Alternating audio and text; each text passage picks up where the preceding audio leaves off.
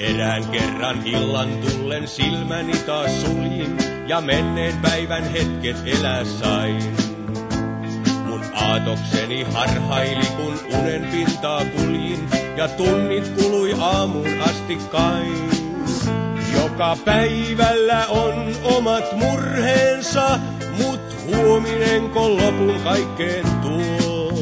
Voiko varman päälle elää enää ollenkaan, vaiko ottaa vaan sen minkä aika suo?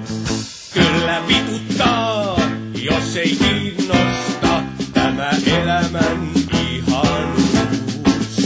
Kyllä sapettaa, jos et tunnusta, että huomenna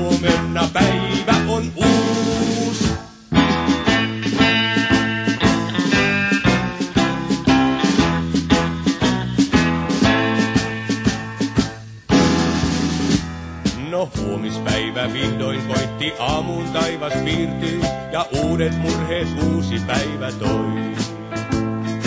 Paikastansa toiseen paljon ihmisiä siirtyi ja eilispäivä vielä päässä soi. Jospa eilispäivää parempi tänään ois, niin murheetkin silloin vähenee.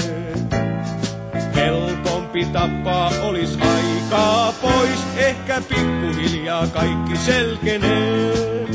Kyllä vituttaa, jos ei kiinnosta tämä elämän ihanuus.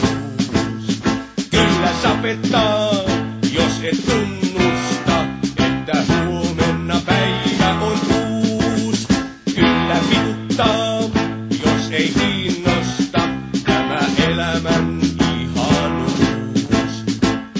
sapettaa, jos et tunnusta, että huomenna päivä